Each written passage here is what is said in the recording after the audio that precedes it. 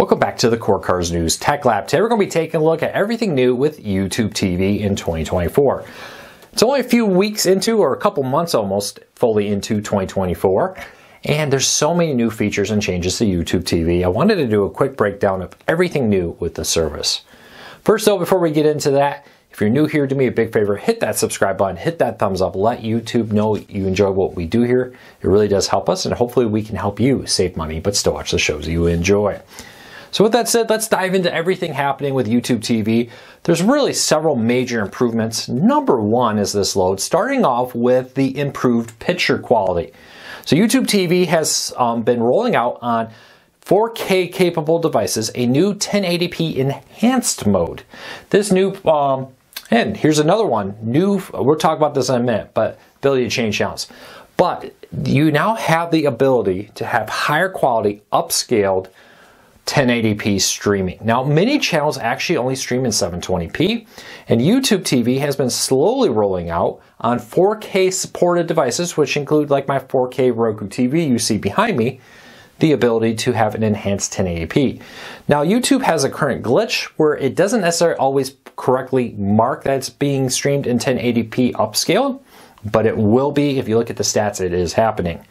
Now with that, you don't have to do anything. YouTube TV will automatically adjust to 1080p enhanced bitrate. This new bitrate includes higher um, ability to have more images per second, allowing you to have smoother um, things like footballs flying across the screen, hockey pucks flying across the ice, fight scenes and action movies will all look smoother and better.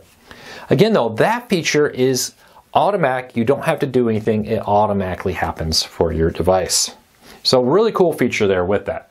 But let's dive into this real quick here um, and let's take a look. It looks like we got a basketball game going. Here we go. Let's jump into this. I want to show you something really cool. I just want to stand in front of the TV so I don't get a copyright complaint. Oh, all right.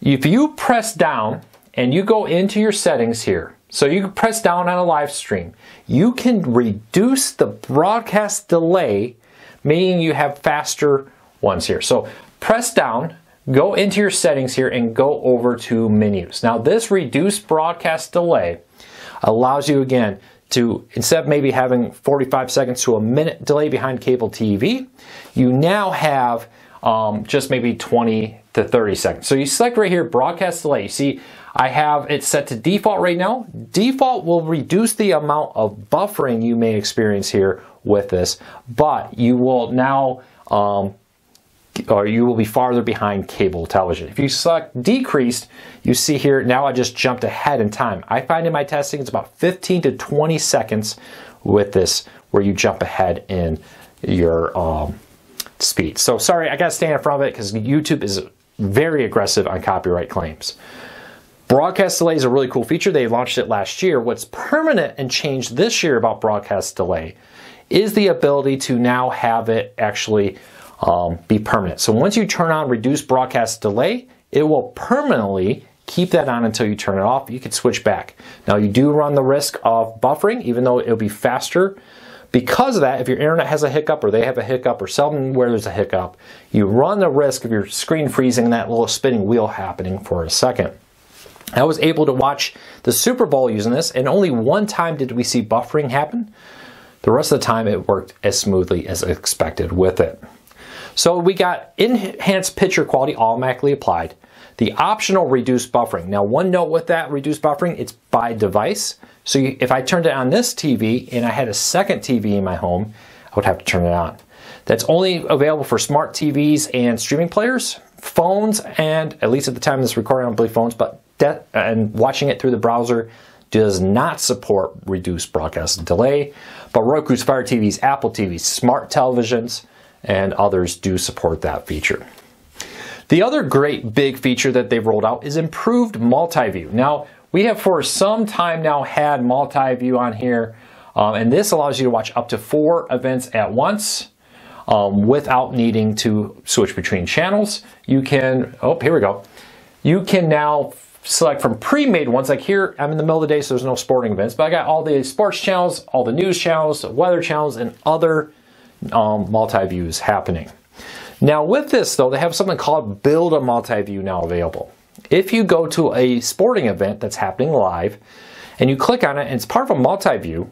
Instead of just maybe giving you two or three options to pick from in the multi-view, they have something they call build a multi-view. And this allows you to pick from a list of games where you can pick four different games. say, I want to see this game, this game, and this game. And it will give you the stream that's happening now with those um, four games in it. Originally, when it launched, this was limited to NBA games. Now it's available for a wide range of games, including college basketball, NBA, and others.